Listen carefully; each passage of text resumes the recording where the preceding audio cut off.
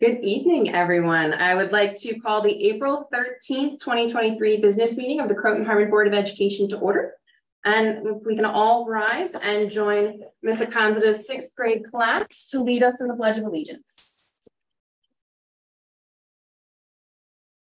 I pledge allegiance to the flag of the United States of America and to the republic for which it stands, one nation, under God, indivisible, liberty and justice for all. Born unborn. Recommended action that the Board of Education, I'm sorry, before we pop into that, I'm going to turn it over to Superintendent Walker. That's So he can bring us up to date on Miss A's class. Thank you, Sarah, and thanks so much to Miss A class for that wonderful rendition of the pledge. And I'm happy to share a couple of notes from Miss A about some of the work that her sixth graders have been up to recently. They continue to focus on close reading, writing, and critical thinking skills in ELA. Uh, the Tigers are using a variety of text structures and genres to practice these skills, and in the upcoming weeks, the students will be reading plays from Scope Magazine, exploring mythology to enhance their understanding of their new read aloud, The Lightning Thief by Rick Riordan. In social studies, the students are currently immersed in their ancient Egypt unit, and throughout this unit, the Tiger students have been exploring the geography of Egypt and the impact that it has had on the growth of that ancient civilization. Students are also learning about the cultural developments while re- all- also recognizing similarities, additional advancements, and achievements by the different ancient river valley civilizations. Thank you so much again to Miss A's class and outstanding work on the pledge and, and what they do in class every day. Thank you. Thank you very much. Uh, now, uh, recommended action, that the Board of Education approves the agenda as presented. So move. Second. All in favor? Oppose, abstain, motion carries. All right, so now I'm very excited uh, to introduce uh, Mr. Louis Riolo from Putnam Northern Westchester BOCES uh, as we recognize Mia Ferreira as the Student of Distinction for April 2023. Mr. Riolo. So um, I'd like to thank everyone for having us here this evening. Uh, my name is Lou Riolo. I'm one of the assistant superintendents at PNW BOCES. Uh, I'd like to thank Mr. Walker, his leadership team, and their, their amazing talent, and we absolutely love working with them. Um, I'd like to thank the board, who we've worked closely with before. It was amazing. I said before, you know, I know I shouldn't be biased, but one of my favorite places to come. It really is, and these are one of my, one of my most favorite things to actually do, the student distinction. So we have Mia today, who is our student distinction, she's your student and our student, and we're so very proud of her. Um, all her accomplishments and everything else. Um, I'm gonna introduce Mr. Stephen Lowry. He's our executive principal at the Tech Center. And he's gonna introduce Mia, has some awards to give, introduce some staff. So, but once again, thank you so very, very much. Thank the greater Croton community for everything they do. And, uh, I'll hand it over to Steve. Thank you very much. Thank you, Mr. Riolo. And again, to echo the words of Mr. Riolo, thank you guys so much for our shared student. She really is a superstar. So now it's our turn to embarrass her. So this might get a little uncomfortable. It might be swimming a little bit, but um, Mia is a true superstar. Um, our New Visions Health program, which she is in, is an honors level program. And not everybody qualifies. It's pretty, you know, stringent to get in. There's an interview process, an essay, and an overall like character assessment. And, and Mia from right out of the gate was was top of the list. And she has not disappointed us at all. She's a hard worker. Um, she's very respected by her peers. Part of our program, just for, for those that may not be aware of it, it's taught both at BOCES site and also at New Vision, uh, Northern Westchester Hospital, which is Northwell, and also Hudson Valley Hospital, which is New York Presbyterian. It's hard to keep track of hospitals, but, but they get to shadow and they get to do real stuff. So they're seeing, you know, real emergencies. They're in the operating room. They see, you know, births if they're lucky. Um, but Mia in particular is is very interested in ultrasound. And she has the luxury of getting accepted not only to Quinnipiac, but also Sacred Heart as well. So yeah, she's she's really an all-star student. Um, I know the staff at the hospital really enjoys her. Her classmates enjoy her, and she really adds a lot of value to our program. So if I could have Mr. Walker come up, we're going to present Mia with not only a certificate, but also a medal of distinction as well. And you can see how much Mia's impact that both of her teachers uh, came out to support her as well. So Mia, on behalf of everybody here at Putnam Northern Westchester BOCES Tech Center and for Croton, we'd like to congratulate you for being the student of distinction for April of two thousand and twenty-three, right?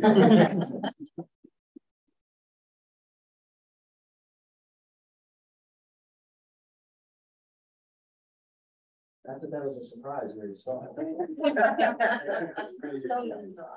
No, it definitely does. So thank you. Thank you guys as well. Yeah, I do want to say on behalf of the entire board and administration, and really on behalf of the entire Croton Harmon School District community, we're so proud of you, your future, just incredibly bright. Thank you for being you. Um, It's it's our honor and to your, to your mom and your brothers as well. And thanks so much to our colleagues uh, at Putnam Northern Westchester BOCES. Thank you. Thank Thank you.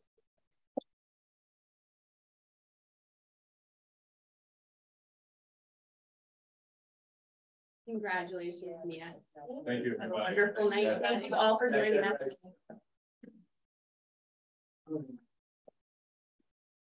All right, well, now I will move into uh, my president's report. So good evening, everyone. Uh, Thank you to those of us who are joining us in person. It was nice to be able to uh, celebrate with Mia and her family uh, in person after a couple years of, of doing these uh, virtually. Um, And thank you to those are- who are joining us on live stream. Um, I hope everyone had a great spring break and holidays and the wonderful weather over the past couple of days has been a really great welcome to spring. Um, it's exciting to see that all of our spring sports are underway. Um, and speaking of, I'd like to take a moment to congratulate Cassidy Croce, who scored her 100th goal for the girls lacrosse program earlier this season. Uh, and as you know, uh, our meetings and work sessions over the last two months have been centered around discussion of our 2023-2024 budget. And you will hear again from administration this evening with an overview of the budget prior to the board vote to adopt it. You can find any information, presentations, and meeting videos related to the budget on the district website. And on May 4th, we will hold the public budget hearing. Please don't hesitate to send any questions related to the budget um, to the board or to budget.questions@chufsd.org. As a reminder, uh, candidate petitions for a Board of Education trustee must be submitted to the district clerk on or before 5 p.m. on Monday, April 17th. This year, you must have at least 38 valid signatures on a petition. Um, and also, I just want to remind everyone to please make your voice heard and come out and vote on Tuesday, May 16th from 9 a.m. to, Nope. uh, sorry, from 6 a.m. to 9 p.m. uh, in the high school gym. Uh, you will hear from Superintendent Walker and our student member Molly Levitt uh, about many of the recent and upcoming events in the district. So I will just take a moment to share some upcoming PTA events. Um, the at the high school, the PTSA will be kicking off a shoe collection fundraiser, which coincides with spring cleaning and Earth Day. Uh, once the collection is completed, the shoes will be picked up by our partner, funds2orgs.com, and transported back to their facility.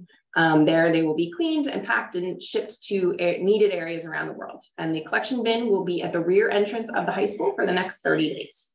Uh, over at PVC, uh, they will be having their next meeting on Monday, uh, April 17th at 7 p.m. on Zoom. And they will be discussing their upcoming fundraising event, which will be taking place on Friday, April 21st at 7:30. And it's called The Journey from There to Here. And it's a moth-inspired evening of true stories from members of our community. Um, and that'll take place over at uh, the St. Augustine's Parish Center. Um, and then over at CET, uh, we will be excited to be welcoming back the Scholastic Book Fair um, from April 19th to the 21st. And that concludes my president's report. Um, and so now we will open up our first hearing of the public. Uh, we ask that anyone who would like to address the board use the podium and state your name. You can um, give your email or contact information on the sign up sheet provided. And please keep your comments to three minutes. Thank you.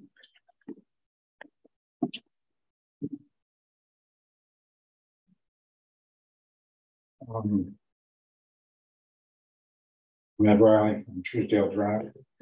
I'd like to tell you about, every month I go to Northern Virginia. As you know, Northern Virginia is the focus of uh parental uprising against woke ideology in the schools of the United States, specifically two counties, Fairfax County and Loudoun County, Virginia. These are two of the richest counties in the United States. They have the most educated population in the United States. And they can't handle a school system properly. As you'll note.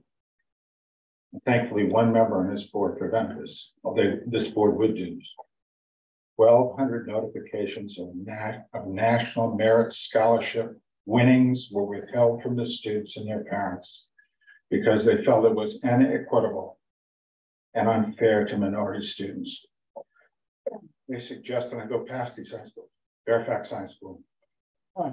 um, Jefferson High School, West Springfield, West Springfield High School, Robinson High School, go back High School.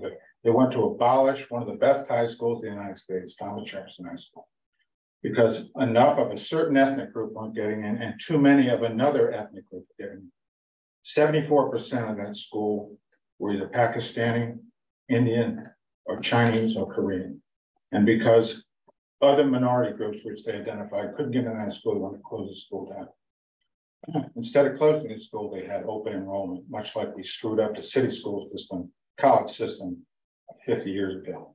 The temptation to create CRT, which as it, as the sign says, the guy that wrote the stuff says CRT, under the guise of DEI, eliminating standardized tests, doing away with the SAT test. If a Chinese immigrant coming into San Francisco with two years background in the United States can do well on a damn SAT test or PSAT test, we can expect the students in the United States to do just as well. And if kids are deprived, as they have been by the union and, and, uh, and school administrators in other cities. If their school sucks so badly. Then it's the obligation of the citizens of those districts. One, to reappoint a different school board, and two. Provide like this district does do in the summer, remedial education for those kids that need help. Not to lower the standards for everybody, but to raise the, the other kids up whether it be because of a language problem or because they were deficient in some particular uh, subject, math, science, English, or what have, what have you. It's not to lower things down, it's to raise everybody up. And unfortunately, the way of the United States is a simple way, and it's because of the teachers union nationally. I have nothing, I don't know about this teachers union. And other places, their thing is to bring everybody down down. Thank you.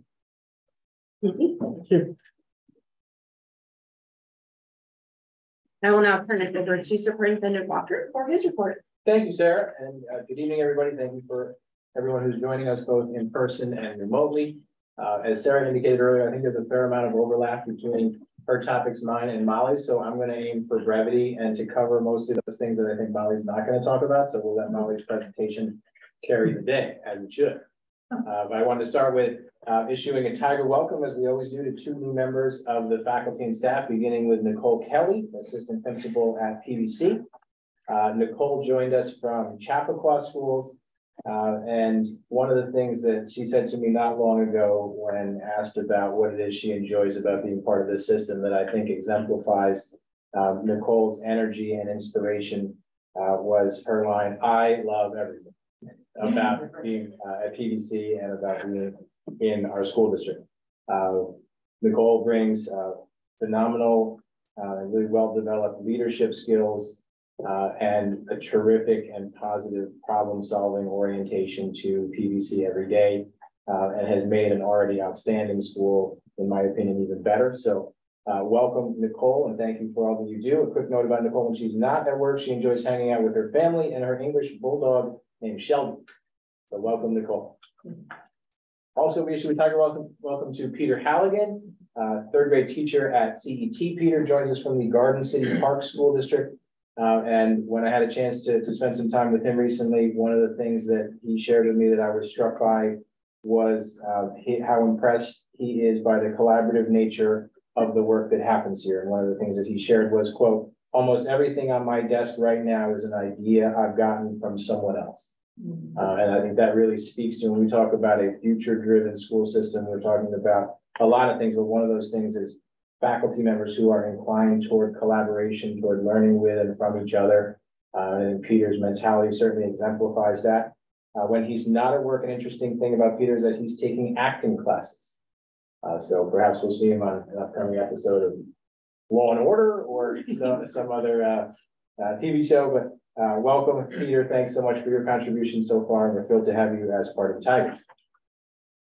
Wanted to make mention, of course, of the outstanding, uh, just really delightful, fun, uh, terrific performance of Seussical that, uh, that the PVC student body led by Sally Barnes and Christina Carmesino put on. Uh, just terrific talent, uh, backed by really, really well directed um, theatrics. And I have to tell you, it was uh, just one of the real pleasures of the past couple of months was to get a chance uh, to be a part of that. So certainly the future of uh, Tiger Musical Theater looks very, very bright. So congratulations and thank you to all of them for giving us that treat. I'm sure Molly's going to talk about this. I just wanted to say that uh, there are those moments we, we talk about as, as leaders where we know that we're present for something that kids are likely going to have some memory of for the rest of their lives.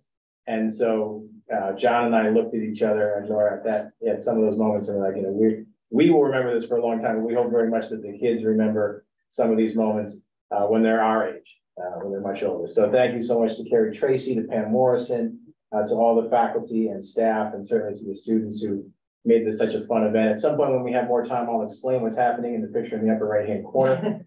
Uh, but really, aside from maybe the most intense game of musical chairs since last year's Color Wars, uh, it was even intense to be a judge for something like that. So uh, really a great, great time, and I'll let Molly speak to that.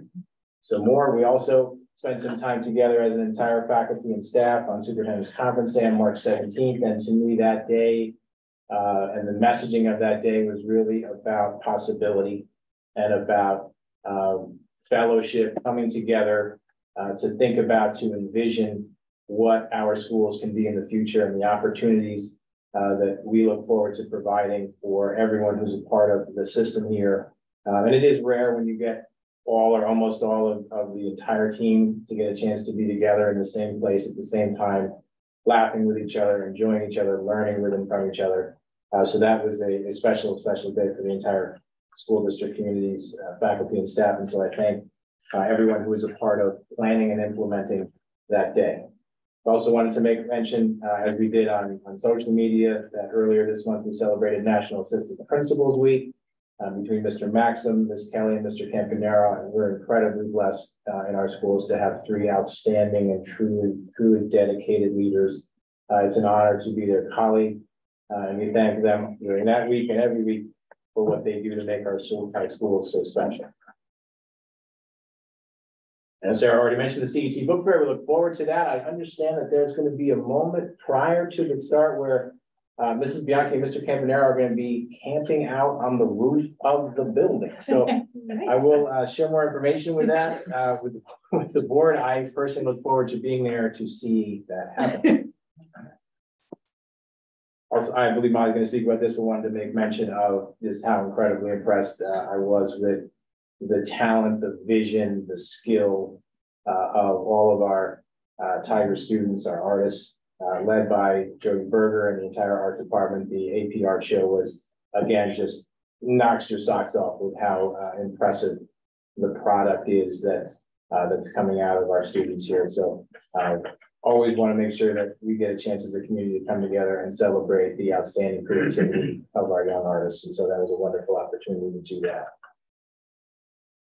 As Sarah also mentioned the start of spring sports, congratulations, yes, to Cassidy. Thanks to DJ, to the coaches, the Booster Club. Also want to give a shout out to our athletic trainer, Andrea Zambrano, uh, who all have been part of making this a very successful start to the spring sports season. And since we're already, I guess it's summer weather, uh, it should hopefully uh, be a very uh, successful outdoor season for all of our spring sports teams. And I'm going to talk about this as well. I will just say, um, I had a great opportunity to spend some time with uh, our uh, visitors from La Rochelle in France, uh, arranged by uh, Dr. Bree and Allison Rhodes. Thank you to both of them, along with the faculty from their school in France. And so I got a chance to spend some time with them the other morning and was talking to a couple of the students about music. I was curious about what it was that they were listening to as, as 16 year olds uh, or 17 year olds in France. And so I was expecting to hear Taylor Swift, which I did, but then a couple of the young ladies I was standing next to wanted to talk about David Bowie. And I thought that was, I was like, wow, David Bowie is still appreciated by by young people uh, in Europe and I guess everywhere. So that was kind of a, an interesting moment. I will say that they also uh, engaged in a uh, scavenger hunt around Croton, and I was uh, honored, as was Penelope, that one of the things that the group had to do was to come to district office and to learn who Penelope was and get and see a picture of Penelope. So um, Penelope, thanks uh, Dr. Bree and, and Ms. Rhodes for that opportunity as well. And just wanted to uh, also make mention to, sometimes I get a chance to talk about events and sometimes it's just moments. And this was one that struck me. Dr. Blair and I got the chance to, to visit, uh, we were invited to visit uh, Ms. Capone and Ms. Valentino's kindergarten class recently. They wanted to show us something they were working on. And while I was there, uh, I was struck by this example of when we say vibrant, engaging, comfortable, supportive learning environments. I'm not sure it gets any more poignant than that uh, to really comfortable uh, young kindergarten students working on uh, some early literacy skills while obviously um, kicking back and uh, enjoying a, a really just incredibly beautiful and vibrant classroom space. So thank you to, to those teachers for putting that together. I believe that is it for me. Thank you as always. Thank you very much. And we'll turn it over to Molly Lovett for her report. Hi. Um, as Mr. Walker mentioned a lot, I have. um, yeah, a lot has gone on since I'm going to go through a lot of things. Um, starting off with Spirit Week and the pep rally the week of March 27. So the Friday right before break, we had our pep rally. Um, each grade had a color and we competed for points all week. We had things like everything but a backpack day. We had um, musical chairs, which is always really fun to watch. Um, the weird picture in the upper right corner was Penny was bowling, and it it doesn't get any less weird the more you say the sophomores won, and the seniors in the cliff second. So, uh, yeah. Also, the AP art show that was Tuesday, March 28th. Um, everything was amazing. I I went just to support my one friend, and I ended up really looking at every single person's um, exhibit. And yeah, you could just really tell that everyone put a lot of care into everything.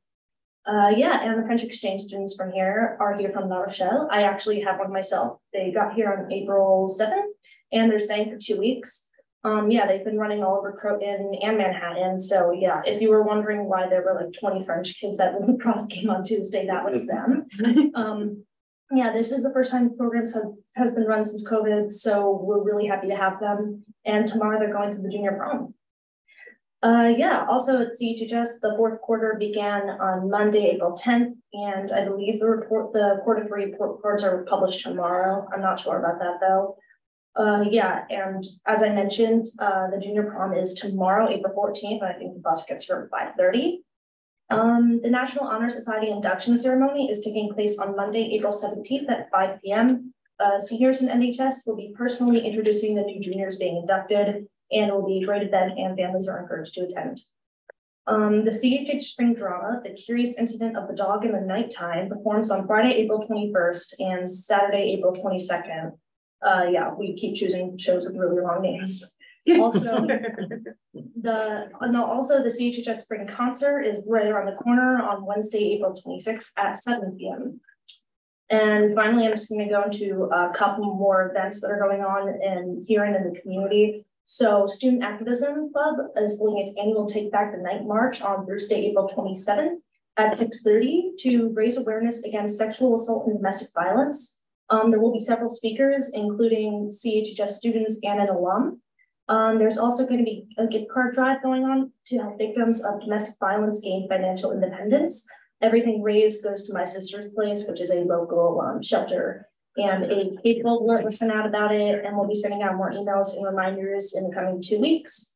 Uh, yeah, the march will start at Five Corners, and we hope that um, many members of the community will be able to attend. Also, Holocaust Remembrance Week is the week of April 24th. Uh, several student clubs are planning activities for that week. On Tuesday, April 25th, Annie Kleinhaus, a Holocaust survivor, is going to be speaking to the entire CHHS student body. And that will be followed by a lunch where a small group of students and teachers will get to have a more informal conversation with Ms. Kleinhaus. Uh, yeah, and then following the Take Back the Night March, that Thursday, April 27th, uh, in the CHHS auditorium, the school is going to be hosting an exhibit from the Holocaust Education Center in White Plains called 13 Driver's Licenses, telling the individual stories of Jewish citizens persecuted in Germany during the Holocaust. Uh, and this event will be open to the entire community and more information on that is going to be sent out via K-12 alert soon. Uh, yeah, and finally, um, for any current CHS juniors who are interested in being the student ex officio member next year, um, if you have any questions, I'd love to talk. So email me and I'll be holding some sort of information. I'll be sending out stuff soon. So stay tuned. Thank you. Thank you very much, Molly. All right, we will now move into new business. Uh, recommended action. Um, actually, before I read the action, do you want to, did you want to take it over for a review of the budget and those budget presentation? Sure. So Before we uh, move to adopt the budget, we'll hear again from uh, Ms. Harrington Cohen. Actually, I'm gonna say a few Okay. things and I'll turn it over to Denise. I never want to miss an opportunity to talk about something as important as the budget and in my mind, particularly this one, I think this is um. A transformative budget for the system. Uh, and I'm always happy to talk about uh the opportunities that this budget provides. Not only for us to get incrementally better at what we already do as a system, but to truly think about how we can enhance the entire system. Through what it is new that we're able to to bring to bear for students and for faculty and staff through the budget. So I wanted to begin just by uh, talking a little bit about the vision behind that. Uh, we know, and I think one of the things I feel best about in terms of the process this year is that for everyone who's been following along in the community has genuinely been a process. Right?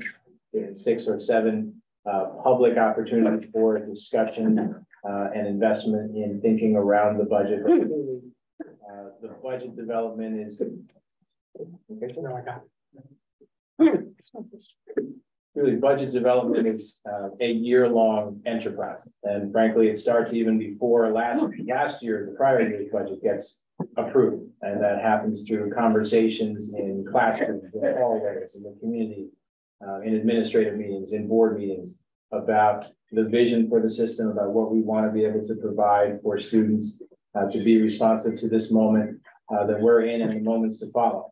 Uh, I think the process hopefully has been one that has allowed the community to see the trajectory of that. And we look forward to hearing their input on the product on May 16th. As I said earlier, one of the things that we talk about is, and I say this every time I talk about the budget, is that a budget is not simply a function of dollars and cents, but it's a representation of vision and of values within the system. Uh, and so what we're looking to do, and I know that the board knows this well, is with the work of the strategic plan, with the development of, of an updated vision statement through a lot of the work that's been happening over years and years, is to think about how we make the entire system better for everyone who's in. Uh, so that everyone, every person who's a part of the system feels inspired by what happens in schools, feels connected to it, feels a sense of belonging in it, feels passionate about what is happening within our system. And to do some of that, we have to confront some of the structural barriers that have traditionally caused almost every system to not feel that way for, for kids uh, and for the adults in it. And so it's an opportunity for us through the budget to figure out how we can create opportunities that are responsive to this moment and to this vision. And I, I feel great uh, from my seat as the superintendent that we've been able to do that. Uh, and when we talk about not just incremental improvement, but systemic enhancement, uh, these are some of the examples of how this budget does that. Uh, the physics teacher, not because we may necessarily just need additional sections, right? That's incrementally improving what we already do, but a physics teacher that then allows for the creation and implementation of interdisciplinary coursework, where students genuinely learn the way that we learn in the real world, right? Not in silos, but in opportunities to integrate math uh, and physics and other sciences and engineering in one place over the course of multiple periods with multiple teachers to earn multiple core credits. That kind of transformative opportunity is something that comes as a result of this budget. The art teacher at PVC doesn't just simply allow us to add more sections of of some art program that we're already doing, as important as that is, but it allows us to enable all students in the building to demonstrate creativity, curiosity, and inspiration through access to the Indie Lab. The instructional coach at CET is designed to lift every faculty member and through them every student through peer-to-peer feedback and collaboration in developing new and, and innovative learning experiences. The music teacher at PVC is gonna allow all student mus- musicians in grades eight through twelve to receive regular scheduled small group instrumental music instruction. And through doing that, we'll lift the entire program, the product of what it is that gets a chance to be shared with the community as well as general music instruction for all students in grades five through eight. Uh, as we know, one of the guiding questions uh, that we've been working through this year has been about how we're able to connect with uh, and help to, to support members of our school district community whose first uh, native language is not English. And so the school community liaison position is a direct response to that. Will serve as a connector and a support for our Spanish speaking students and families, ensuring that when we talk about equity, that every member of the school district community is able to access the full range of opportunities within our district. And as we talked previously, one of the critical aspects of long-term success and sustainability in our system is to allow for leadership development and sustainability within our business office. And so that assistant business manager position within the budget allows us to do that as well. So uh, we recognize what an incredible opportunity this is through this budget to not just take small steps, but to genuinely make huge leaps forward in terms of how we continue to enhance the system here. And I'm incredibly proud to recommend it to the board. Uh, and so with that kind of as the backdrop in terms of vision and values, uh, now Denise gets to do the fun part, which is to talk about the finances, the dollars and the cents. Denise? Thank you, Superintendent Walker. So we'll begin with the New York State budget, which has been delayed again. And as you know, many components of our planning are contingent on the state budget. And I will say, I just read an article this morning that um, Controller DiNapoli is really pushing, um, indicating that, you know, much of what we do is contingent on that. So uh, quit the horse trading and get the budgets done. So evidently it's being held up on bail and uh, bail legislation and new housing. Um, but so let's just take a look at uh, what we believe is true today. Uh, at least until Monday, the 17th, uh, we will most likely not hear before then. And uh, word is we may not hear until a week or so after that. But according to budget and state aid runs, they indicate that um, all are in support of full restoration of foundation aid, uh, which is giving Croton Harmon an overall increase of approximately 28 uh, percent. We are also looking at additional funding for universal pre-K. Uh, we've been slated to receive an additional 25 spots for UPK. Uh, we were one of the first adopters uh, in the program once it was established uh, on a broader scale uh, two years ago. Uh, the One House budgets are in support of the following items and in um, actually in opposition to what was recommended by Governor Hochul. Uh, so they are recommending universal free meals for all students relief for uh, maintenance costs. So all of our uh, special education students that are placed in residential placement, the district is responsible for the tuition for that residential placement and then also 60% of a maintenance cost that is paid to the county for that placement. Uh, that was increased uh, by about 20% several years back. So they are advocating to uh, release that burden in one way or another. Uh, also plan to revise the foundation aid formula based on its, uh, you know, its age and uh, archaic look back. Also the removal of some unfunded mandates and the reporting requirements for transparency, zero emission, etc. There we go. So Next, we're going to take a look at our revenue sources. So this is the allowable tax levy. Uh, we'll begin with this. This is a prescribed formula by the New York State Controller's Office, one that many of us are familiar with. Uh, the tax cap, uh, it was established about 10 years ago as a mean to as a means to cap growth on um, tax levies and school budgets. Uh, it was made permanent in 2020. So I'll take you through this very quickly. I, I know this is not everyone's favorite slide, um, and it is condensed. I've taken a lot out. But essentially, we look at the prior year tax levy, we multiply it by the tax base growth factor. So that's um, a figure that's uh, given to us by Office of Real Property and Taxes. It's the brick and mortar growth within our community.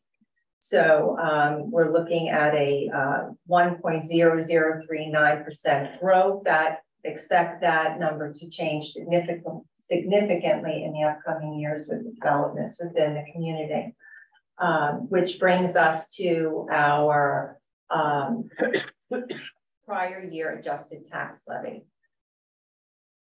We take that figure, then multiply it by the growth factor, which is CPI or 2%, the lower of the two for C CPI uh, established for school districts was 8%. Uh, we did not, of course, get the 8%. It's capped at 2%. Uh, then we take from that uh, any pilots. The district does not have any pilots in the works right now, according to the village uh, for next year. So that is also zero. And then the capital tax levy exclusion, which is uh, is a calculation which uh, encompasses debt service and state aid. So that is removed from that. So we are looking at a proposed tax levy of 2.64%. This is uh, lower than our initial projection, which was, I believe, 2.69 um, earlier this year, uh, based on our uh, state aid uh, projections. So this is uh, kind of a look at the tax rates and tax histories for our two communities. So we have about 4% of our uh, residents in Yorktown and the remaining is in Cortlandt. As you can see with Yorktown, it's very extreme sway in uh, tax rate. That's due primarily to the fact that it's a small number of properties. There's also the um, the um, Equalization. Yes, thank you. The equalization rates are significantly different in both of those communities. Uh, where Cortlandt's as our tax rate is fairly level, it uh, varies significantly in both of those communities.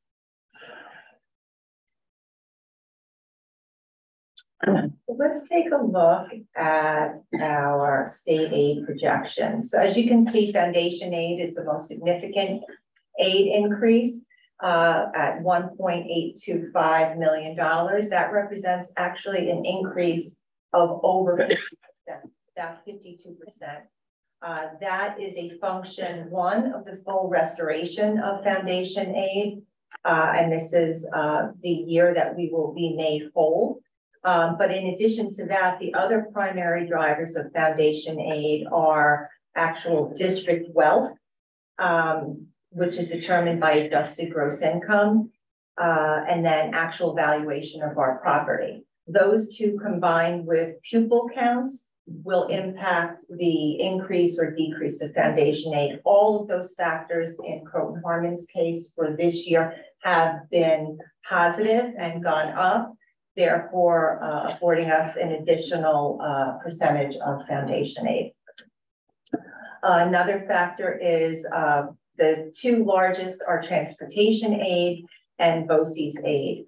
Both, both of those aids are expense-based aids, therefore they are not contingent on pupils or tax evaluations. They are solely based on expense.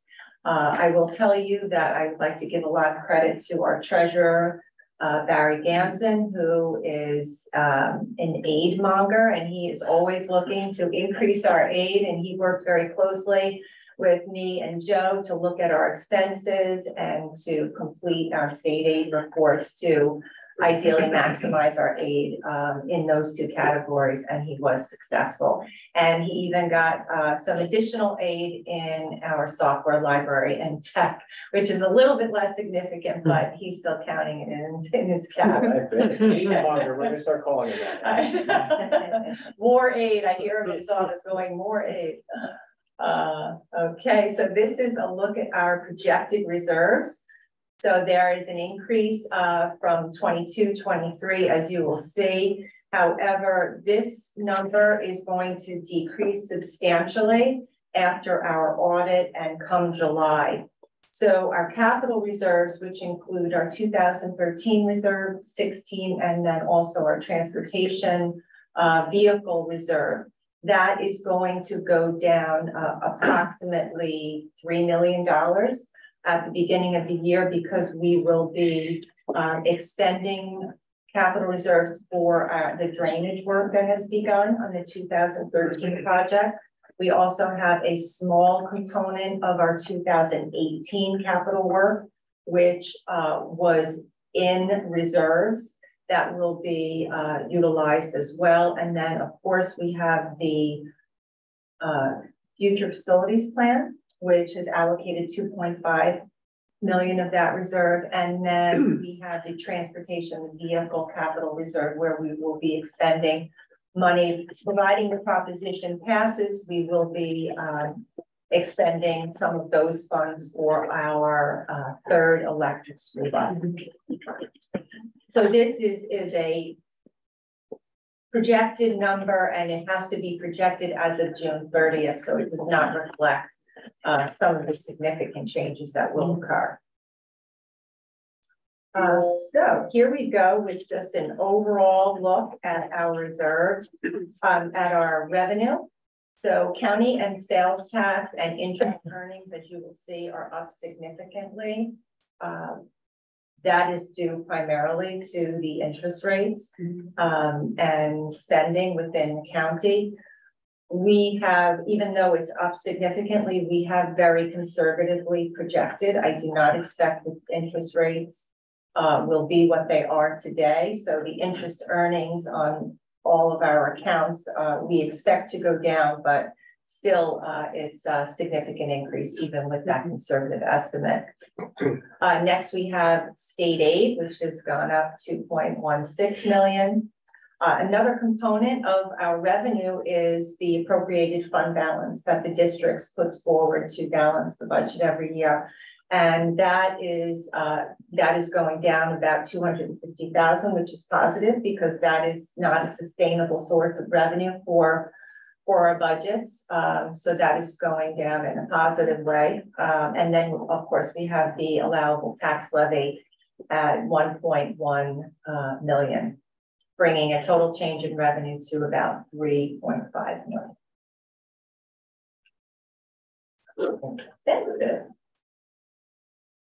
So not getting too deep in the weeds, um, I will say that our budget and our budget codes align with the controller's recommendations. And we have four components. So we have the program, which the program component, um, the uh, function component looks at departments. So our function component of our budget code, which is the look that you have here as far as how we're slicing the budget looks at departments. So it looks at uh, pupil personnel services, technology, um, transportation, etc. Then we have the object component, which I'll talk about uh, in a moment. So this is our budget overview by function. Uh, general support, which is the first function, represents 14% of our budget. As you can see, that is up significantly. It's up about 11.8%. Uh, this is due primarily to operations and maintenance. So, th so that department is susceptible to inflation like no other department. We're talking about supplies, materials, maintenance, and services for all of our grounds, um, equipment, etc. Uh, then also we have uh, projected utility increases uh, from Con Edison upward of 18 to 20%.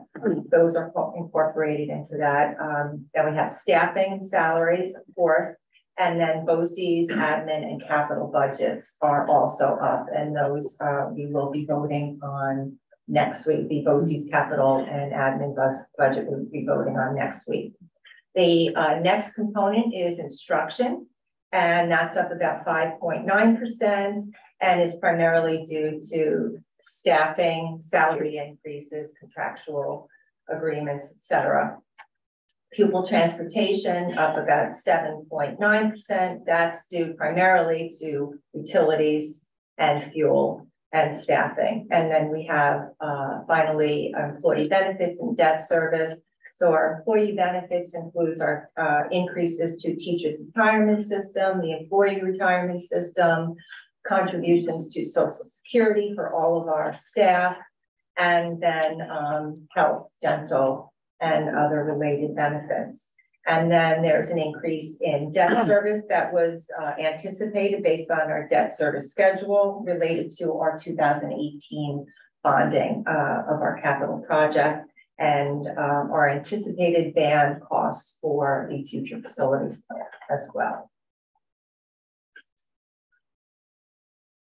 So here we here we have it by object. So object looks at spending categories, salaries, benefits, supplies, materials, contractual services, etc. As you can see uh, from the chart to the right, salaries represent 52% of our budget and benefits over 20%.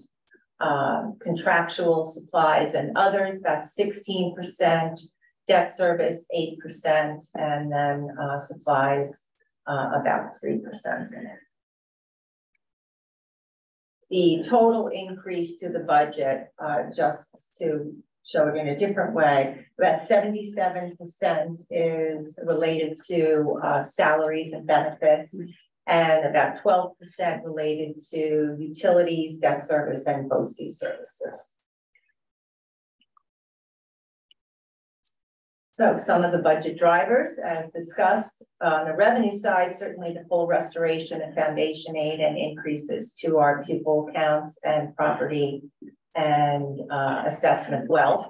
Uh, increases to county sales tax and increases to interest earnings are primary drivers there. Uh, our expense budget, salaries and increased staffing, benefit costs, uh, utility increases and costs to uh, operate our buildings, uh, the impact of inflation on costs of goods and services, and then also uh, the absorption of some of the uh, spending that was absorbed by our COVID grants. So R and ESSER and uh, CRRSA. So those grants are ending. So we will be absorbing those costs into the general fund. Okay, on the ballot.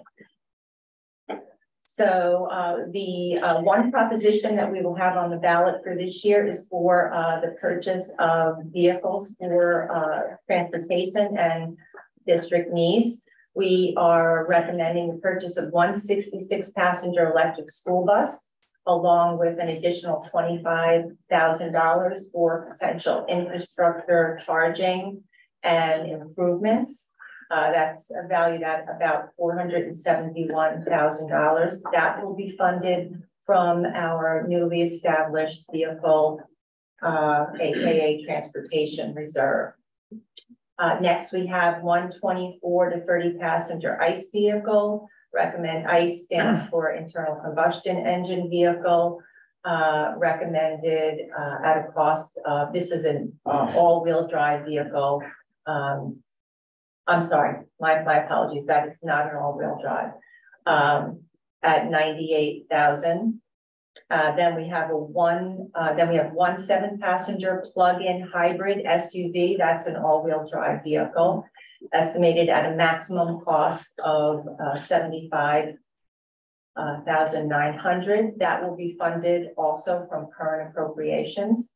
And then we have two low-speed utility vehicles uh, that will be uh, electric as well and utilized for grounds maintenance, not to manage events, trainer supports for our um, athletes uh, and individual students, school-wide events, etc., to help transport families and uh, students uh, throughout the campus, and also for grounds maintenance. Um, all of these uh, this whole proposition and all of these expenses will be funded solely through reserves and current year appropriations, uh, therefore not requiring any debt on behalf of the district and not uh, imposing any additional taxes for our residents. which is a very good time for that because uh, inflation is really increasing the borrowing rate substantially. So we will not need to borrow uh, for any of these costs. And, and this will be the first time that the district has ever done that. Uh, generally, we issue Not, not first time. not the first time. Back until about two thousand three, the district Oh. purchased all vehicles through current appropriation, Through the uh, operating. through the operating budget. Okay. And then the board, in time, decided to move it into um, BANs and. and To stabilize the, the tax rate, yeah, stand corrected. Oh, okay, so if approved, no borrowing, debt would be required and therefore no impact to taxes. So on the ballot, so we have proposition one, which is our budget for uh fifty-six million, one seventy-four, nine eighty-three. Then we have our vehicle proposition, uh, number two. Our proposition number three is for the library budget and uh, Jesse from the library will be uh, joining us at the public budget hearing next month uh, to present the library budget. And then lastly, we have trustee elections. Please remember to vote on May sixteenth at CHHS from six AM to nine PM. Uh, just some upcoming dates. On May fourth, we have our public budget hearing. And then again, on May sixteenth, the annual vote. Always uh, check us out online. Uh, you can reach me directly at budget questions, budget.questions at chufsd.org.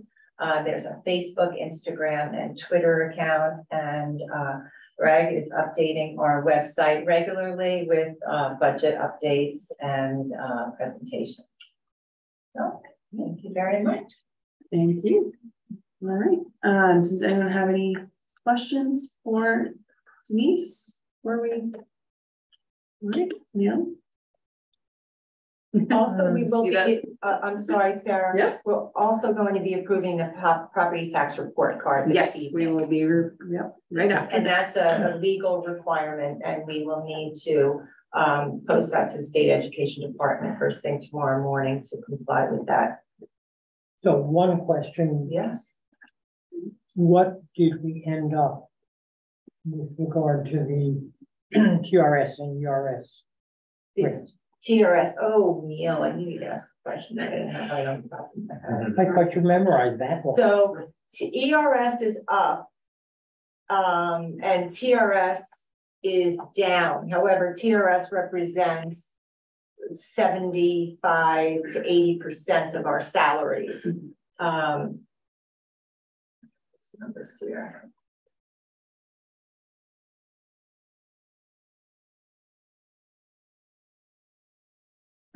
So TRS, uh, well, I don't think it's been finalized yet, Neil, actually.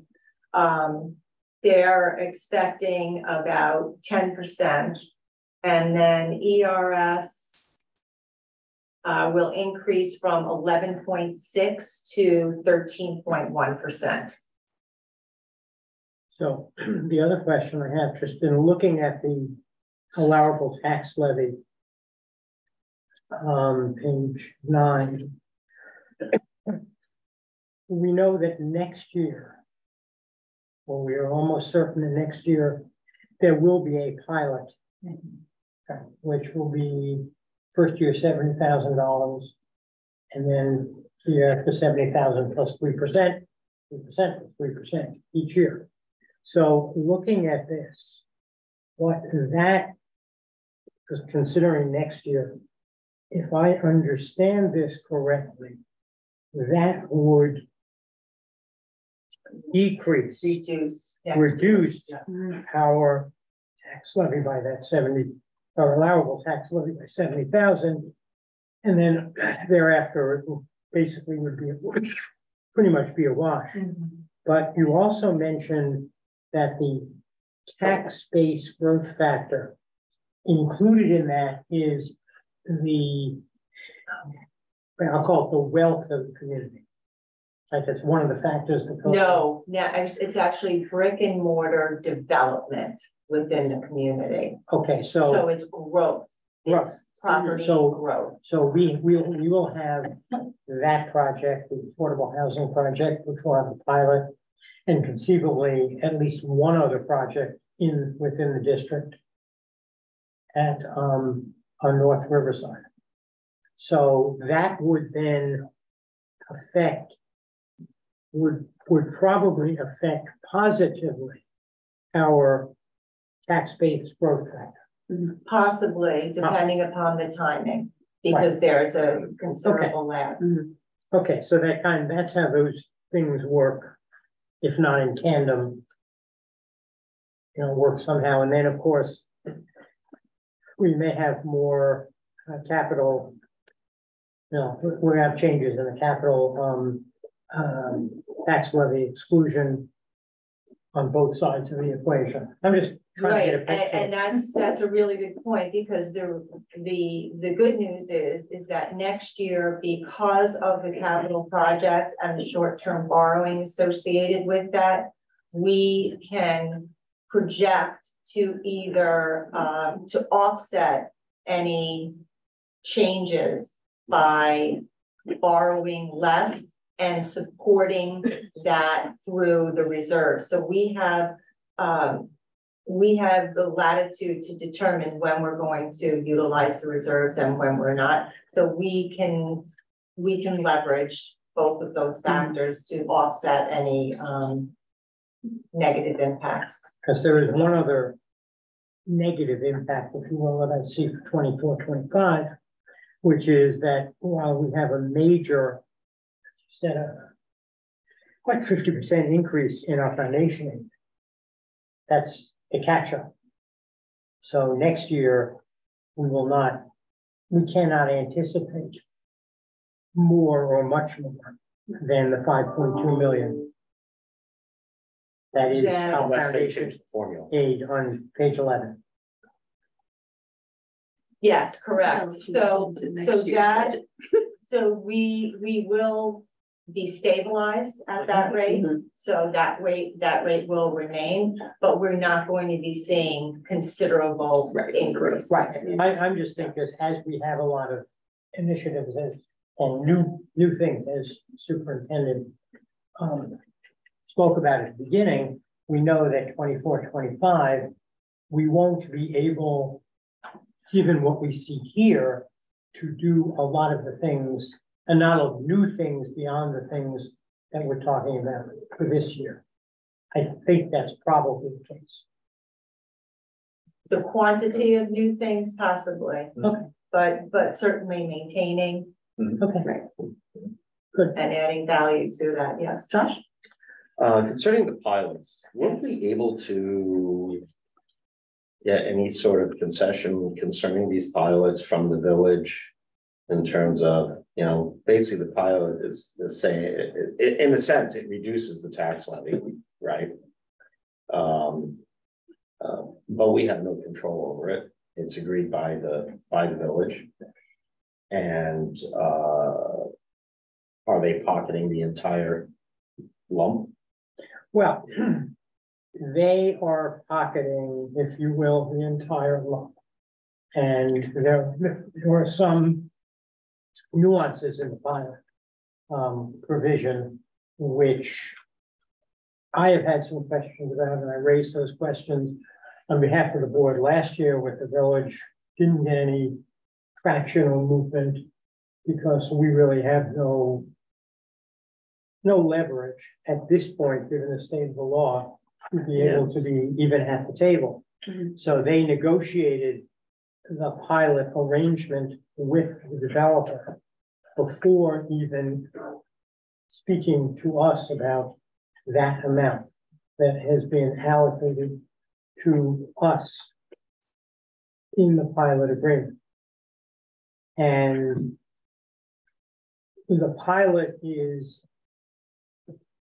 basically one for the twenty-five year police uh, term of that pilot, there is no change that will be made. It doesn't matter about what the um, percentage increase in inflation or anything else will be. We have got what we have got, seventy thousand year one, seventy thousand three percent year two, two, seventy thousand, another three percent on top of that, on top of that, on top of that. And that's all there is. There's another component which raised, I raised a question about, but didn't go anywhere, which is, in addition, there is a payment that the developer will make of twenty thousand dollars a year to the village, which is really a payment in lieu of taxes, but they're gonna get that twenty thousand. It doesn't go into our our percentage or our portion. And it's, it is a payment in lieu of taxes because it's part of this agreement. It is ostensibly for the provision of certain, I guess, services that the village is supposedly gonna provide, user fees, but it's really not defined and whatever question we might have as to whether our portion should be twenty thousand plus, seventy thousand plus, because we should get part of that twenty thousand. The village has said, So we should get part of, we will get part of the seventy. we will, Yes. we'll get the seven, Yeah, Yeah. right. right, we'll get the seven. What we won't get is any part of that. Any part of that 20, twenty, okay. Which, you know, is really, we should get part of it, I think, but. we can- Well, we will have plenty of time to discuss it when the pilot is actually. Yes. Coming next And year? When that happens, I'm. I don't much want to confuse people into, there, there is no pilot this year, it is, there is nothing on the. I, I, I, I, I'm with you on that. I'm, I'm thinking about the, this year and next. But let's move on with this year. And that is a a statewide dilemma also. It's not a a Croton dilemma. Right. It's You're talking about, statewide, about the foundation. The the tax about the pilots Pilots. and our, our lack of, um, ability to impact those decisions. And that, and that is something that when we, I believe when we spoke to legislators at our Mhm. local forum, Mhm. we mentioned that part of what we were looking for is to have a better the table. Yeah. Yeah. And the laws have ch- changed recently, if I remember correctly, to at least provide us with notice. When a pilot is going, you know, is being done, it used to be back at uh, Symphony Knoll. We didn't even find out about it until after Symphony Knoll was signed, sealed, delivered, and they started to build. And we got nothing out of the Symphony Knoll Mhm. project in terms of pilot payment. Well, the village has been very open with us. We have strong relations with them and, um, Brian is, is continually updating me. Symphony Knoll was ten, twelve years ago, so it was a different relationship at that time. Alright, well, if we have no other questions, uh, then recommended action that the Board of Education adopts the 2023-2024 Croton Harmon Union Free School District budget in the amount of fifty-six million, one hundred and seventy-four thousand, nine hundred and eighty-three dollars. So moved. Second. All in favor? Aye. Aye. Aye. Oppose, abstain, motion carries. And now we will move into the property tax report card. Recommended action that the Board of Education approves the 2023-2024 property tax report card for the Croton Harmon Union Free School District as presented. So. Second, First of all, On I the question? apologize.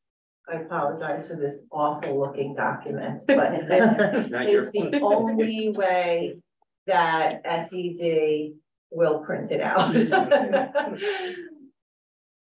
And it essentially, this is, uh, our, this is supposed to be our best estimate and projection. It's a budget to budget comparison, enrollment comparison, and also fund balance and reserve comparison. On the question? Yeah. So it should be the schedule of reserve funds, Yes, um. Should that be the same as what the ending, anticipated ending balance for twenty-three should be? so are you talking about the ending? The ending balance, you can pull down a little bit. Yes. Ending estimated balance, six thirty twenty-three. Yes, so there have been, um. There's no ending balance on this. You're talking about, you have to go up, if you can go, oh, I'm sorry, I'm thinking you're moving it. Uh, Can you go up a little bit more? Good, more. Yeah, so there, there will be a slight variation in there because in that figure, we incorporated interest. Hmm, So interest for this year is over five hundred thousand dollars on those reserves. So we, uh, we projected in, in- interest in there, where on this report that was established last week, we didn't incorporate any interest values. Okay. And their estimates, of course, we won't know until probably our financials are complete. yeah, to say someone in the budget.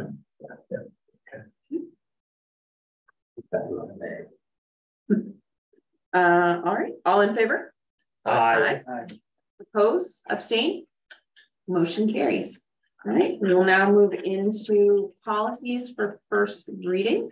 Um, the we have uh, policy 20, uh, 4321.12, uh, policy 4321.12R, uh, 8121.1, and 8121.1R. Um, so these are available for first reading. Neil, did you want to give us a Sure. brief overview? brief overview. There are two separate subjects here, forty-three twenty-one twelve and forty-three twenty-one twelve R. Deal with the um, use of timeout rooms and um, physical or mechanical restraints and aversives in uh, which may be um, within a child's individual education program, IEP. Um, the district does not use adversives. In fact, it is not um, permitted to use adversives um, by operation of state regulation. Adversives are like withholding food, um, you know, things that are pretty serious and that's kind of. Hmm? Yeah. Yeah, and so we, we can't do it by law and it's just a creation, I think, um, uh, you know, an updating, and there's some updating here otherwise to address uh, issues that are in the state regulations. Um, and we don't generally use timeout rooms often, according to um, Director of Pupil Personnel Services, or physical restraints, mechanical restraints. Um, but um, we have a policy in fact, years ago, we did not have such a policy because we didn't do any of this. And we were told you still have to have policy even if you never do it. Um, this, this policy has been reviewed and the regulation reviewed and approved um, by the Director of Personnel Services. The other policy, which is also an update, deals with opioid overdose prevention. We had a policy that pursuant to um, pursuant to a program run through the Department of Health, we have um, staff members who are trained volunteers, who are trained responders, who are able to administer by their training um, uh, Okay, Narcan, Naxal, na- na- naloxone, however you pronounce that. Um, we, the policy that was in place. Question was raised to me about, what about when I met with the Director of Human Personnel Services, what about our school nurses? Uh, school nurses also are trained and are, and have the um, authority under state regulations to administer Narcan. So we have um, that, um, those changes in this policy. We also have changes. Uh, we also note rather that now Narcan can be purchased over the counter. And so there may be a lot of other people who will be able to respond because they are carrying Narcan. One of the things that the trained personnel have is under the Good Samaritan law, have protection as long as they are administering Narcan in good faith. Um, once again, this, this has been reviewed by the Director of Human Personnel Services. And so those are the changes that the policy committee is recommending. Now, if anybody has any questions as they go through the review of these or any uh, changes, just refer them to the policy committee and we will see these back um, next month for second reading. Um, one thing I will ask, the policy committee is meeting on eighteenth. Uh, if anyone who has any questions can get them to us by the eighteenth, preferably. Just hold any questions for now, save them for an email. Yeah. Yeah. And that, you know, if they, and you send that, and obviously things that need to be, um. Uh, spoken about with nursing personnel or the school physician or director of personnel services, they'll do that. All right, um, and I have a couple more meetings. Um, and now we'll move on to uh three point four, recommended action that the Board of Education approves the side letter of agreement between the Croton Harmon Union Free School District and the Aides of Croton United ACU bargaining unit as presented. So moved. Second, On the question? All in favor? Aye. Oppose, abstain? Motion carries. Uh, recommended action that the Board of Education approves the bid award for district-wide storm drainage improvements to Bradhurst Site Construction Corp. The total contract being re- recommended inclusive of any allowances is one million thirty-one thousand three hundred dollars. So move. Is that Omar? Yep. Okay. You get a second? second, On the question? All in favor? Oh, Just Sorry. moment. Um, there is a handwritten page in this contract. And to be honest, uh, it's not terribly legible. Page, uh, nine. Take a look at that. Is there, I, I just wanted to just verify with the business office that this is, that there's nothing material here. Um, Or is this just a, a sheet of notes that ended up in together with the? uh, yeah, that must have been on the back of the, the bid proposal. Sorry. Yes. Okay, so that is, that is not actually part of the No, contract? no, no. no, and that's actually, looks like meeting notes Yeah, that, um, of kind of, or interview notes of a contractor, probably this contractor. Mhm. um, which quite frankly, is thirty foot inch document, he have, uh, is not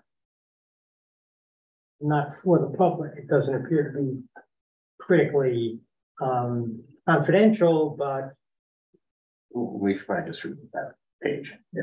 Before we commit it. will do, thank you, Josh.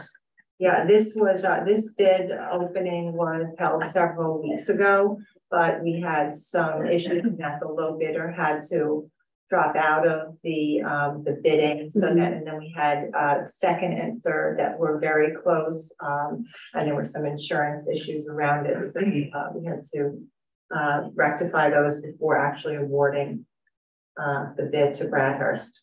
so. I'm that- satisfied. That raises a question about Bradhurst and the other bidder. Um, the totals of alternates recommended. Alternate one, 2.1, 2.2, and five. Is it my understanding that, just through the math, that we are. the contract will be for. The total plus the alternates? Potentially, Potentially. depending upon where we stand with our uh costs throughout the project, Got it. yes. Okay, I mean, I only ask because of the potential concern that. Number two bidder may say, I was really the lower bidder because. You know, Right, we did, we did consult ad nauseum with. Ad nauseam. okay. That's, All right. Uh, all in favor? uh, Aye. Oppose, abstain, motion carries. All right. We will now move into ongoing business and we have uh some policies for second reading. Recommended action that the board conducts a second reading and adopts the following board policies as presented. Uh, Neil, we went over these at the last meeting. We Did we have any uh substantive changes We had no substantive changes. We had no comments, we had no questions, we had no anything, so. right. Does anyone have any questions? Uh, Well, can I first, can I get a, um, someone to So move? moved. Neil, and a second, Second, and on the question. All in favor? aye. Aye. Oppose, abstain, motion carries. All right, and uh, recommended action, the Board of Education conduct a second reading of and rescind policy twenty-three sixty R, the minutes regulation. So moved. Second. Who was that there? Theo? Yes. Uh, all right, on the question? Yeah, I will also say nobody raised any questions or concerns about this item. Okay. All in favor? Aye. Aye. Oppose, abstain? Motion carries. Okay, We will now move into instructional personnel. Uh, be it resolved that the Board of Education, upon the recommendation of the Superintendent of Schools, hereby appoints Keith Spangler as 1.0 FTE physics teacher, science tenure area at the Croton Harmon High School at a salary of ninety-seven thousand seven hundred and fifty-seven dollars, MA plus thirty, step nine. Mr. Spangler is appointed to a four-year probationary term as a physics teacher commencing on August 30, 2023, and a probationary term ending on August 29, twenty twenty-seven in the tenure area of science. In order to be eligible for appointment to tenure, said teacher must receive at least three APPR ratings of effective or highly effective pursuant to Article thirty twelve D of the Education Law during the four-year probationary term and may not receive an ineffective rating in the final year of probation. Mr. Spangler has initial certification in physics seven through twelve.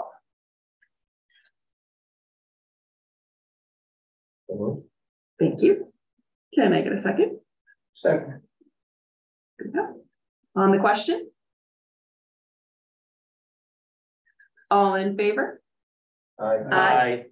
Oppose, abstain, motion carries. All right, we will now move into donations. Uh, recommended action that the Board of Education gratefully accepts a donation in the amount of two hundred dollars from Neil Haber as a contribution to the Gene Pearl Memorial Fund. So moved. Second.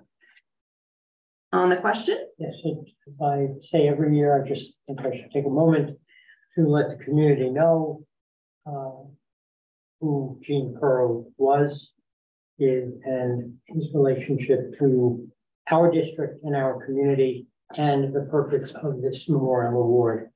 Gene Pearl was a member of the board for six years, I believe, in the nineteen sixties and returned to the board in the late nineties into the early two thousands, I remember correctly, or at least in the late nineties. One of his um, passions as a member of the board was to support the students in our transitional alternative program. And Gene, um, who passed away probably five, six, eight years ago, um, always attended the when the TAP program with Sam Pinty and Sue Lewis had the um, uh, annual Thanksgiving dinner. Um, attended the end of the year um, brunch or breakfast for the um, students in the TAP program, and he was very passionate about making sure that those students who were not necessarily going to be the college-bound students that we think of were um, respected and were celebrated. So the purpose of this award is to honor a student, which doesn't necessarily have to be a senior, but it will be who has overcome adversity and has, as a result of their um, work and efforts in school and, and in the community, um, basically become um, move themselves in a position to see, to succeed in life. And even though Gene um, is no longer with us, and even though the CAP program is being transitioned into the Flex program and other certain other um, programs that we have for students who need those kinds of assistance, um, I am honored to continue to um, support this award, but I will be abstaining because I think I should go on Something that I'm doing. Accepting your amendment. Right. All in favor? Aye. Aye. Oppose, abstain, Extension. motion carries. And then move on to our next donation, uh, recommended action that the Board of Education gratefully accepts a donation in the amount of one thousand dollars from Croton EMS as a contribution to the Charles A. Ellison Memorial Scholarship at Croton Harmon High School. So moved. Second. On the question? All in favor? Aye. Aye. Oppose, abstain, motion carries. Recommended action that the Board of Education gratefully accepts a donation in the amount of six hundred dollars from the American Legion as a contribution to two American Legion Awards at Croton Harmon High School. So moved. Second. On the question? All in favor? Aye. Aye. Oppose, abstain, motion carries. And recommended action that the Board of Education gratefully accepts two one hundred dollar donations from Eric Kohler and New York Life as a contribution to the Carrie E. Tompkins Elementary School General Fund. So move. Second. On the question? All in favor? Aye. Aye. Aye. Oppose, abstain, motion carries. All right. Uh, again, we just wish to uh, thank our donors uh, for taking time and thinking of our students and supporting um, the many things that are going on in our district. We are very much appreciative. We will now move into the consent agenda. Recommended action that the Board of Education approve all items in the consent agenda as presented. So move. Second. On the question? Happy to see that the tennis, uh. Yes. is back. uh, Yes, back in yes, very exciting to see that. Yeah. All right, no questions, all in favor? Aye. Aye. Oppose, abstain? Motion carries. All right, we will now um move into the close of the meeting. Um, and into our second uh hearing of the public. So again, if you would like to speak, we ask that you use the podium and state your name. Please keep your comments to three minutes.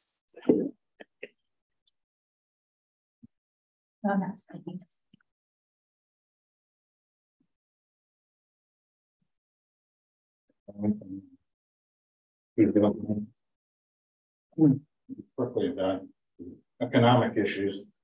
You're lucky to have assistant superintendent does so well. But the matter of electric bus is always astounding, say ideological issue. Costs tremendous amounts of money. Each one of your buses costs three hundred thousand dollars more than an internal combustion engine bus. The length of its service is unknown. And you depreciate an internal combustion bus over fourteen years. And now we find out that electric vehicles are more pollutant. Given how they make the batteries, et cetera. We don't know la- that how long these batteries will last. They're not gonna last as long as the manufacturer. So basically, the three buses that you purchased with, with this purchase is one million dollars. Plus the electric um charging station of twenty-five thousand dollars, you could hire. Ten new teachers, which you hire at sixty-five thousand dollars. Plus their benefits for the folks. Um, instead of paying hundred thousand dollars for the generator. So that is a ripoff. We're paying for it somehow, at some level, wherever the money comes from. Appreciate Mr. Haber going to the physical security conference. The physical security of these schools, which now have three and a half schools. Um, is incredibly important. Can't keep them safe, you're gonna go out of business. So we appreciate his attention to those matters. I'd like to bring two things to your attention. There's a sixth grade teacher in the middle school that has a pronoun problem. Constantly quizzing kids about their pronouns. This is a grooming technique. It's really stinks. And she should knock it off. And you also have a teacher, most radical teachers. Seven um, seven out of ten. School teachers in the United States are Democrats or left wing. Nine out of ten college t- uh, teachers and professors, are Democrats or social. Uh, conservatives like myself, pro-life people have a very difficult road when we deal with organizations like yours. And we're worried about our students and students in general, uh, especially when we see what's coming out of colleges. So when I, when another sixth grade teacher gives a list of um, young activists, remember uh, Mr. Griffin's going to turn all our students into activists. I know what kind of activists he's talking about. Uh, on our list, they have two abortion activists, sixth grade, their age, 13, 12 year old. So here you're asking sixth graders, 12 years old, 13 years old, to write about sixth grade, seventh grade abortion activists who as if they know what the hell they're talking about at sixth and seventh grade. If we're going to go down that road, I'm willing to go down that road because I've had 50 years of experience. And we'll start with talking about um, clipping. Thank you. Thank you.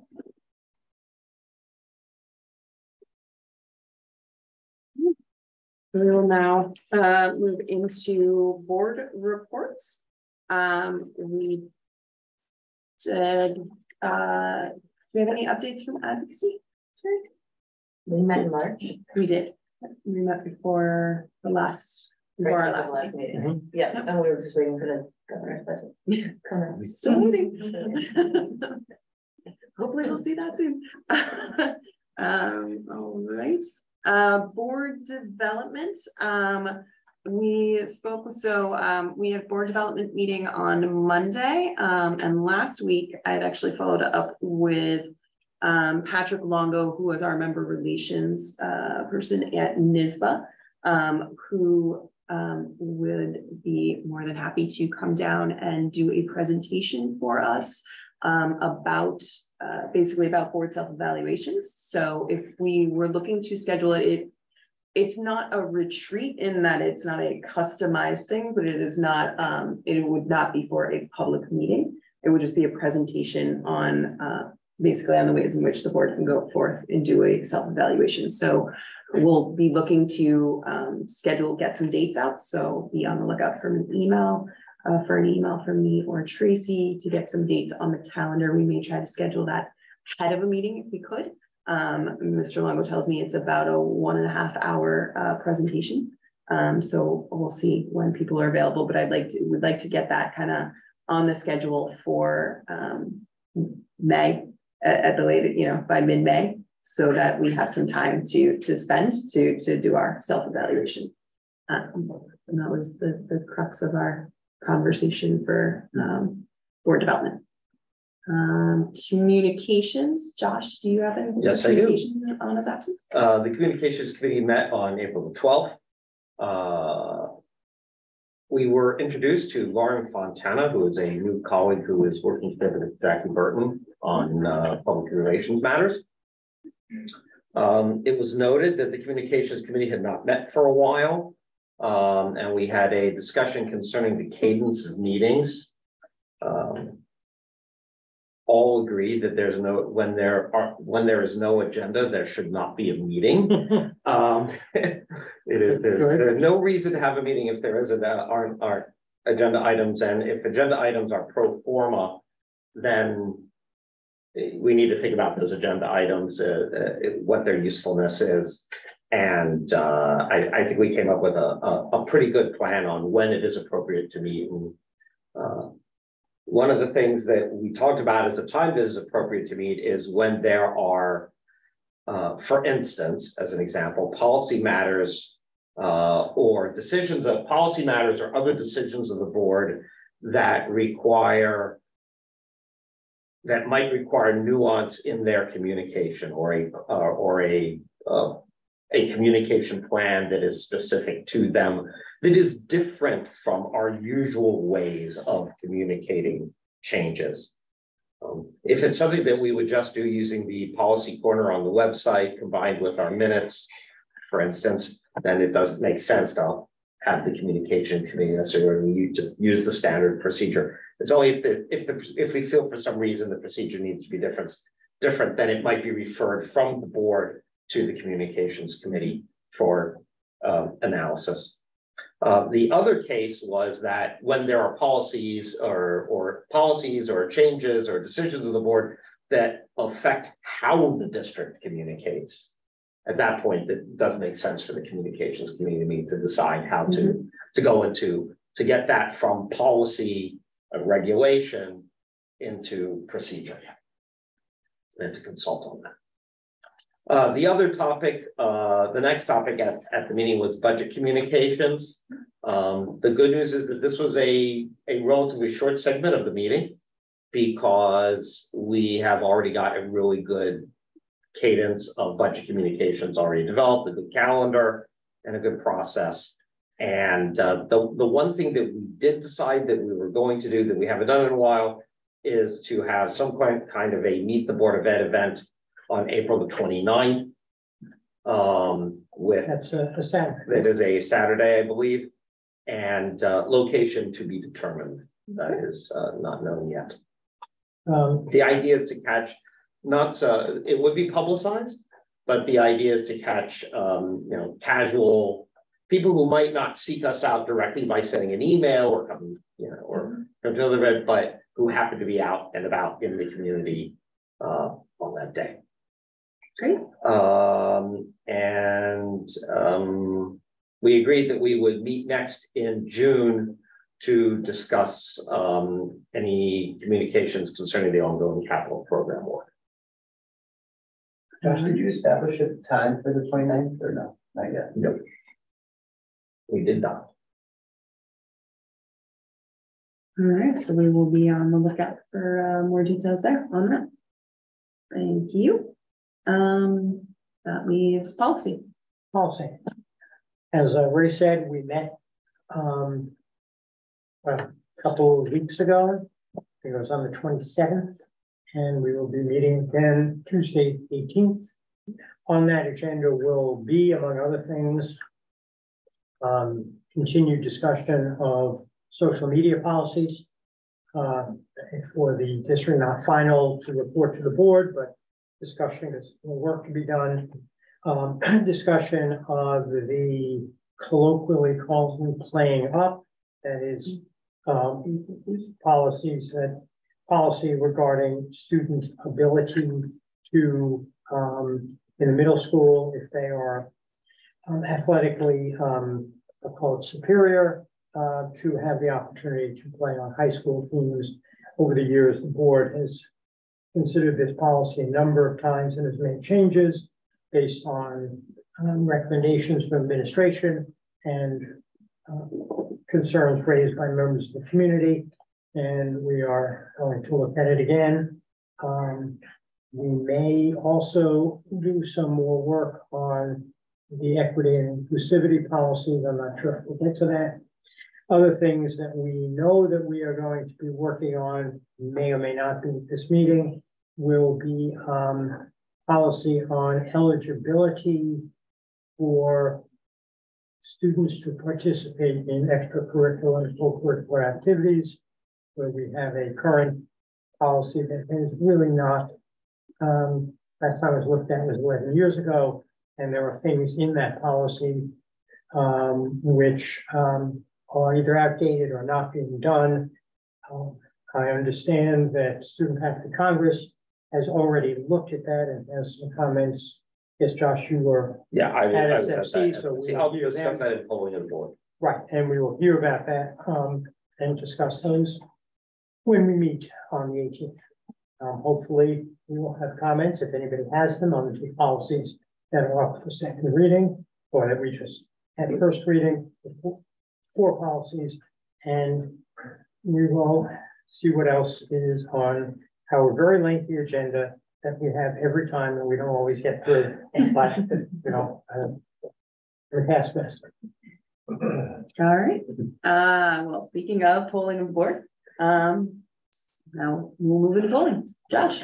Uh, item number one, uh, is, uh, I've been attending the village bill, uh, the, the village bicycle and pedestrian committee meetings. And, uh, my colleagues on the board will note that we have received a, an email, a letter from Matt Arnold, Chair of the Bicycle and Pedestrian Committee concerning the institution of a off-street bike path connecting CHHS and PVC. This thing's been discussed a few times. Uh, it is a longish letter with illustrations. Um, I refer it to administration for their uh, discussion with the uh, architects, see whether this is something that we might be able to make some progress on, uh, as it is something that I that that I do think is um, would increase the safety of, for students uh, who bicycle to and from school. Um, next item up, uh, as, as Neil mentioned, I did attend Student Faculty Congress. Uh, yesterday was G Day. Um, and there was discussion of policy 5205, which is the uh, extracurricular, co-curricular, and athletic participation policy. And no, I don't remember the exact name of the policy off the top of my head right now, but I do remember the number. Uh, there was extensive discussion uh, that was very, um, there were a lot of questions. There were a lot of very good questions. Um, and there was interesting input, which I have uh, took some notes about, which we'll take back to the, to the policy committee. Um, the Student Faculty Congress is continuing to work on that. They have created a shared document that they are using to uh, conduct additional um, additional internal discussions about the topic and with the idea of getting uh, feedback um, as promptly as they feel that they can. The other topic that came up at Student Faculty Congress was the status of the stage crew. And uh, uh, a, a, group of students from the stage who came to Student Faculty Congress to speak about the, uh, the lack of a permanent advisor for stage crew. Um, and their desire not just to have an advisor uh, so that the club could actually run, um, but also to have um, that be a person who could actually serve as provide instruction in stagecraft and technical stagecraft, uh, sound, lighting, props, costumes. Uh, I don't know if that costume, um, um, uh, carpentry, etc. Prop building. So there was a lot of interest in that. Um, I believe that they're going to be coming back to the next Student Faculty Congress meeting to speak again. Uh, one of the things that, that they mentioned is that absent an advisor, they cannot work in the auditorium because they can't work on, on unsupervised. And that because of this, for some of the recent productions, it became necessary to actually hire someone to build props for the productions rather than basically pay to have props produced as mm-hmm. opposed to having students be able to produce props and build sets. So there was some concern there about how that could be resolved. And I think that's all I had from SC. Molly, I, I, Molly, I apologize if I just stole your thunder. No, if you had anything else to report uh, relative to that? Yeah, no, I'll definitely elaborate a little more on stage crew situation. So we all kind of take stage crew for granted. The PVC musical we were all just talking about, they help with that. They do all the high school shows, they do the concerts, they do like everything that goes on in the auditorium. And I'm friends with a lot of people in stage crew, and I've like done the musical myself, so I like really appreciate the work they do. But not everyone sees all the work they do behind the scenes. They have to do all this sound and lighting stuff, things that are really complicated, and it takes experience and expertise to be able to do these things well. And it's not just having an advisor there present to do the work, and that's really important, but it's also being able to have someone to teach, um, teach the people, teach the kids in stage crew how to do these things. Um, one of the seniors at the meeting was saying that he feels like he's a year behind in what he knows because of the year that they've been without an advisor. And that at the beginning of the year, they had a bunch of freshmen who were interested in stage crew, but they weren't they didn't have anyone to, they didn't have some an advisor to learn from, and they weren't able to be in the auditorium as much as they should be. So most of them just left. So having an advisor, a permanent advisor, is really important for with the survival of stage crew and for how well our performances go. Um, yeah. Uh, yeah, I don't know. I see all these, I see all these really big numbers on the board personally. Um, they like kind of make my head spin. It's like tens of millions of dollars. So yeah, we should definitely, I think that, you know, personally, I don't know how much the advisor of stage group is compensated, but they also pointed out that it's a very demanding, time consuming role. So it should get appropriately compensated to make sure that to the well-being of the program and to respect the time and effort of whatever faculty member does that. Yeah. Yeah, if I may, just I have a recollection that in past years, maybe a number of years ago, the district utilized advisors for some clubs who were not faculty members when they could not find a faculty member. There's a couple, that I can think of. I don't know, given given the time that stage crew would be working, which basically be after school, whether there might be community members who could serve in that capacity. Um, and whether that they might be, I'm thinking of community members who have the knowledge and experience to meet the things that Josh reported had been discussed at Student Faculty Congress and Molly, the things you discussed. Obviously, there are a bunch of different issues that are raised, but just a thought that I had that might be able to meet meet the problem and unless and until uh, there's a faculty member who is willing to take on that role at the time, you know, give the time and have the knowledge to be able to. Yeah, it's just, it's just thought which I, I bring up for administration and for for us to consider.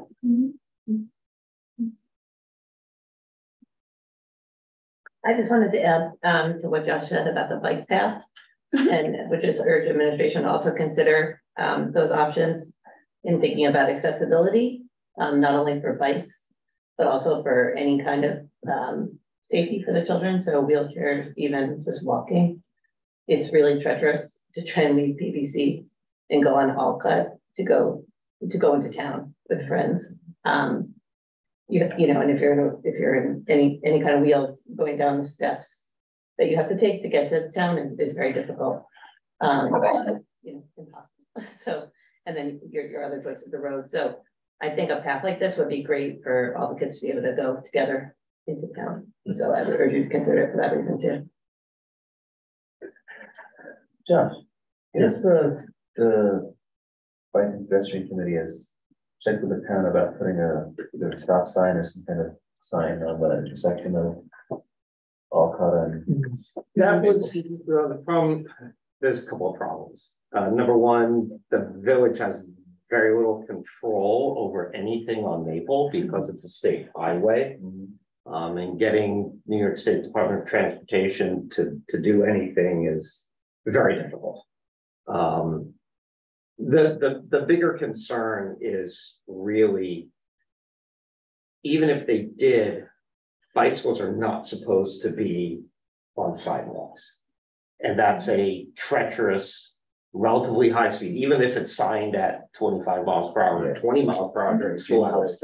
You know, bicycles are not supposed to be on the sidewalks because that would create other hazards for Yeah. other students who are walking there.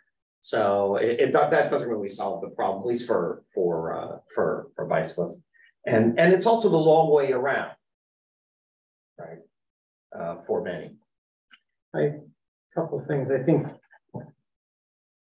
We may, we may want to note that the village has before it, and I think we have passed or is about to pass. A uh, local law that would create um, a twenty-five mile an hour speed limit for all roads in the village, other than those for which they don't have control, which is the state roads.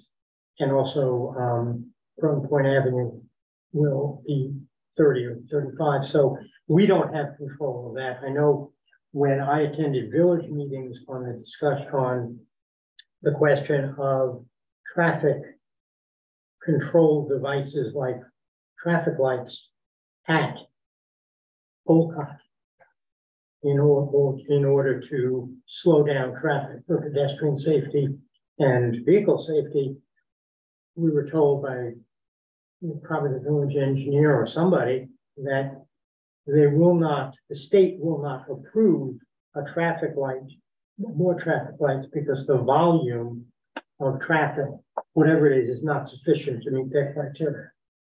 Um, the one question about that Mary raises, and that, you know, I, I am generally in favor of the idea of using that pathway along, you know, creating a pathway um, around the baseball field and then down to um, the, the way to get to PVC is, um, let me first say that that is the access road, if you will, or access pathway for emergency vehicles to get to the back of PVC.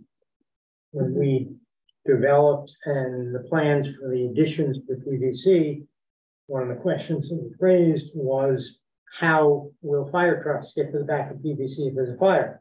And they have to come basically on the track on the side of the baseball field around and go down that ramp, but that's a steep hill. So for wheelchair access, you know, as much as we'd like, that would be very difficult because the, the pitch is, is such that, you know, you wouldn't be able to get people up or down. And my understanding is, but the architects can speak to this, is that to develop some kind of a more gentle ramp um, would be very difficult given just kind of what it's like in the back of PVC.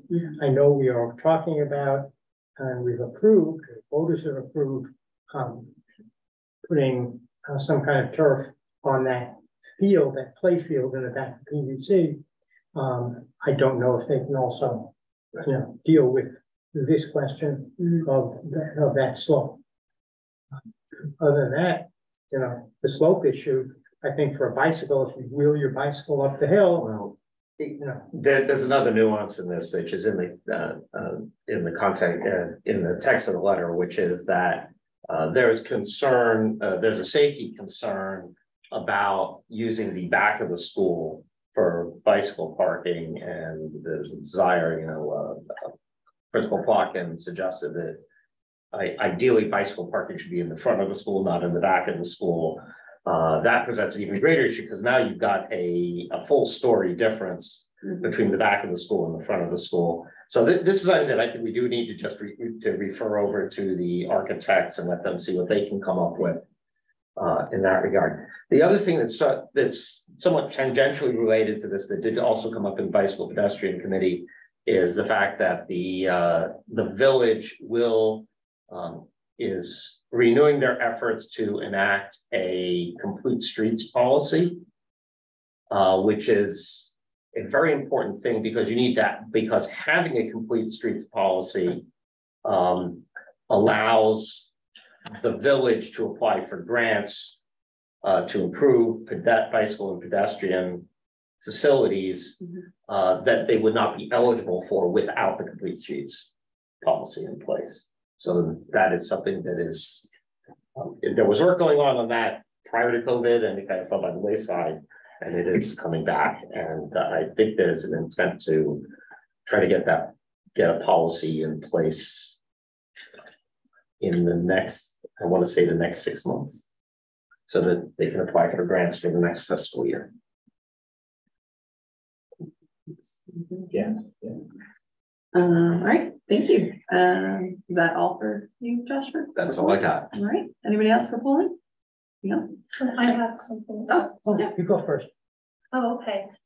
Um, I just wanted to, I know I already mentioned this in my report, but I just wanted to reiterate again that I really hope to see a lot of people at the Take Back the Night March on Thursday, April twenty-seventh. Um, I know it's a really uncomfortable topic and I'm, but I still, you know, I feel that especially for students, middle school students, I'm not saying like saying bring your six-year-old to this because it's really intense. It's like, you know, a heavy subject, but um, yeah, um, kids in middle school, they're old enough to learn about these issues because they're old enough to be affected by them. I remember hearing about on the infamous sexual assault six years ago when I was in sixth grade. I remember where I was. I remember where I was sitting. Um, I remember my friend telling me that someone had gotten rapid at a party. Uh, yeah, she didn't even know how to pronounce the word yet, but we were hearing about it. And I have had friends who in the school district who were affected by these issues at this age. Uh, yeah, so if sixth, seventh graders are old enough to hear about these things, to be affected by these things, to even be the perpetrators and to get pregnant, then they should um, be involved in these kinds of things. So yeah, I really hope to see a lot of people there. Thank you.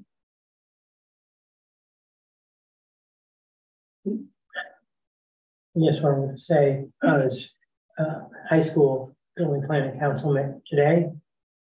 We did talk about the year-end events, kind of got a catalog of everything that's happening for um, seniors between now and the end of the end of the school year, which we don't need to talk about now, but I'm sure come next month. I will say that one of the things that a lot of things will be happening, like the Take Back the Night event and the Holocaust event in um, the month of April, spring concert, and so on. I guess we know that um, Principal Duback will be starting new after beginning of May, which she kind of jokingly said she's trying to get everything, all these things done so like she can be part of them and you know, there won't be anything for her interim to do except put his feet up on the desk. I know that's not the case. Um, other than that, we talk, continue to talk about the um, SAT, BPT, um, AI, and how that affects um, affects students, affects learning, affects teaching. The um, high school did a um, survey of students uh, to ask about whether they have used um, different AI um, platforms or programs, how they've used them, what they think about them, and interestingly, do you see using AI as cheating? Why or why not?